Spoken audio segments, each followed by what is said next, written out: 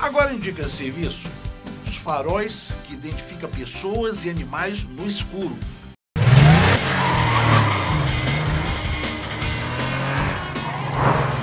A Ford testa nova tecnologia de faróis que identifica pessoas e animais no escuro.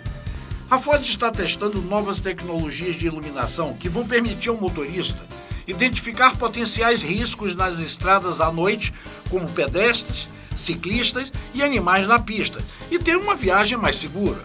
O sistema avançado de iluminação dianteira, baseado em câmera, combina dois avanços já disponíveis em carros da Ford: o farol adaptativo, lançado agora no Brasil com a nova linha Focus, e o sistema de reconhecimento de sinais de trânsito, além de poder operar com GPS.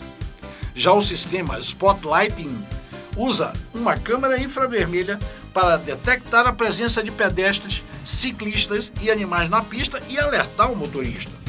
Ele pode identificar até oito potenciais perigos e destacar duas prioridades máximas, por meio de faróis especiais e exibição na tela do painel. Essas tecnologias estão sendo desenvolvidas no Centro Europeu de Pesquisa e Inovação da Ford em Aachen, na Alemanha e a expectativa é que estejam disponíveis no mercado em breve. O sistema avançado de iluminação dianteira baseado em câmera pode usar o GPS para iluminar melhor as curvas e depressões da estrada. Quando o sinal de GPS não está disponível, a câmera de vídeo montada na base do espelho retrovisor identifica as marcações da pista para prever a direção das curvas e iluminar a área de forma mais eficiente.